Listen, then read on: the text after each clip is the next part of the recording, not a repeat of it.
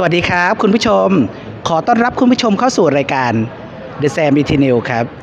คุณผู้ชมครับวันนี้ช่วงคุณหมอชวนคุยครับ เรามีเคล็ดลับดีๆในการดูแลสุขภาพครับ เดี๋ยวเราไปรับชมกันเลยครับ จากที่มีการแชร์บนโลกออนไลน์นะคะว่าอาหารอุ่นซ้ำเนี่ยเป็นอันตราย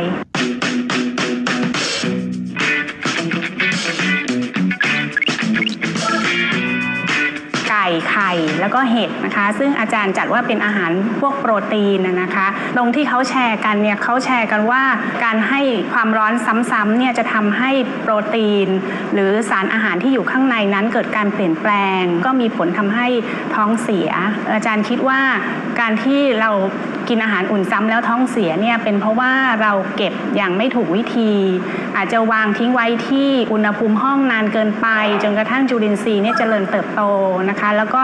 สร้างสารต่างๆ โดยเฉพาะสารพิษที่เป็นพวกโปรตีนนะคะ ที่เราทานเข้าไปแล้วเนี่ยก็ทำให้เกิดอาการท้องเสียได้ อาหารประเภทโปรตีนนะคะ ไม่ว่าจะเป็นไก่ไข่หรือเห็ด นะคะ ถ้าเราเปรุงสุกแล้วนะคะ แล้วก็เก็บอย่างถูกวิธีก็คือเก็บไว้ในที่เย็นในตู้เย็นนะคะ แล้วนำมาอุ่นซ้ำอีกครั้งหนึ่งนะคะ อาหารก็จะมีความปลอดภัยนะคะ ต่อการบริโภคค่ะจริงๆข้าวกับมันฝรั่งเนี่ยนะคะเป็นอาหารที่มักจะอยู่ามพื้นดินนะคะก็คือมีการปนเปื้อนของพวกดินได้นะคะ ซึ่งในพวกดินเนี่ยก็จะมี จุลินทรีย์นะคะเขาเรียกว่าคอส i เดียมบอทูไลนัมสามารถที่จะเจริญเติบโตก่อสารพิษได้นะคะนี้ถ้าเรารักษาความสะอาด โดยการล้างก่อน ให้ความร้อนจนสุกเนี่ยนะคะก็จะทำให้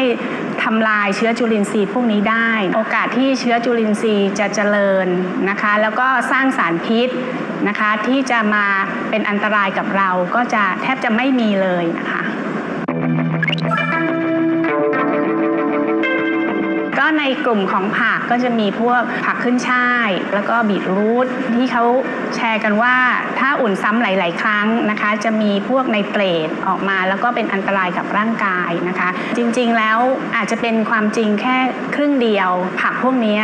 นะคะก็มีไนเตรตอยู่แล้วนะคะ เพียงแต่ว่าจะมีมากหรือน้อยนะคะ ตรงนี้ก็ขึ้นอยู่กับปัจจัยหลาย ๆ อย่างนะคะ เช่นว่าออชนิดของผัก นะคะ แหล่งที่ปลูก แหล่งของน้ำนะคะ แหล่งของดิน